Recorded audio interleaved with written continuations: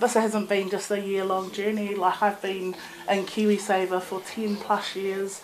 Took, took a while to like pay off student loan debt to um, save up enough of the deposit and just to kind of persevere. I think that's the biggest hurdle is that often, and I've got the same thing, the banks say no, don't have enough money, don't have enough deposit, not earning enough.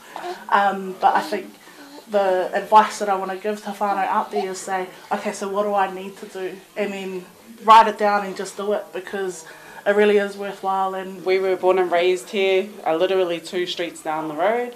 Um, went to the, all the schools here, and um, yeah, to, just to be home and feel home um, is yeah, I can't even explain it really. Just like what um, Minita Piri said, you know, once you've got a whare, it's really a foundation for the rest of you know our whare tapawha to build on top of and, and to enhance the lives of not just me or my sister, but like, you know, Atarita and her tamariki. So yeah, really encourage our whānau Māori to get out there and purchase homes.